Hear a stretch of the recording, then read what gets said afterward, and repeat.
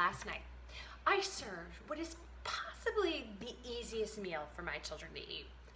Plain pasta, literally plain pasta. That's all we put on it with raw green beans on the side, just those, you know, stringy green beans.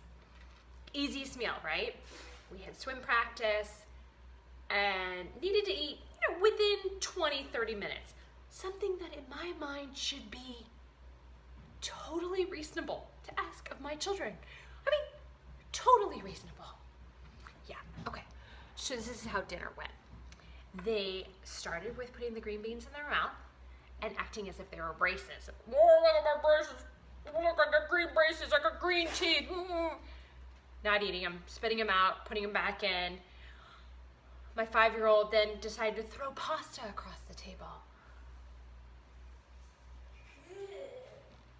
I, of course, got mad, put them in timeout, brought them back to the table, desperate for them to eat. I mean, I don't know what it is. I, I don't know why, but I'm so desperate for them to eat because if they don't, they're so miserable. I mean, they're so miserable.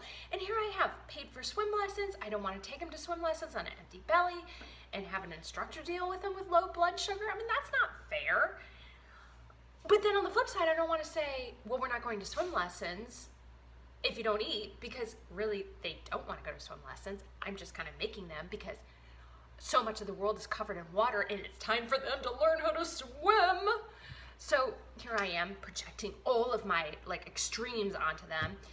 And I had just said to myself about a week ago that I'm gonna start letting them fail. Like I'm going to start, like I got to just get in this mode where I'm gonna start letting them fail. I'm gonna start basically being like, okay, well if they don't eat, they don't eat. They can feel what it's like to be hungry, but I'm not feeding them anything else. I'm, definitely not feeling them else. Like they don't get snacks. I'm gonna just stay hard to my rule. They don't eat their dinner. They don't get a snack after swim lesson. No, you didn't choose to eat your dinner. Or you can go back to the table and eat your cold pasta and green beans that have already been shoved into your mouth and spit out with your saliva and gunk all over it. That's what you can eat if you don't eat your dinner. That's what I say I'm gonna do, right? A week ago, I was like, I'm gonna start letting my kids fail. I'm gonna start letting them, like on the way, breakfast, if they don't eat their breakfast, you know what? They're gonna be hungry all day. I'm not packing you a snack. You don't get a snack. You don't get to eat again until lunch. Well, I, my, my five-year-old just told me to shut up. He's, he's pooping on the potty, listening to me. Um, so anyways, that's what I said I was gonna do, right? I didn't do it. I didn't stick to my guns. You know what I did? I went back to my usual where I threaten or bribe. First I thought in my mind, I'm like, okay, I'll bribe them with ice cream. It's swim lessons.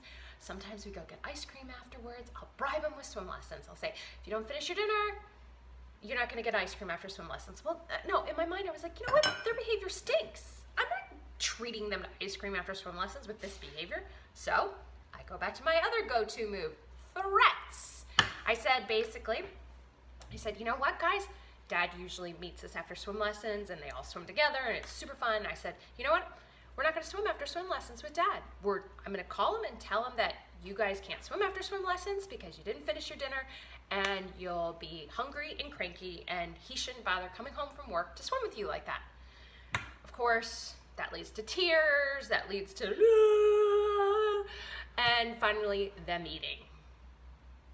But I don't think it leads to them eating consistently. I've got to just start letting them fail. I'm just so obsessed with them.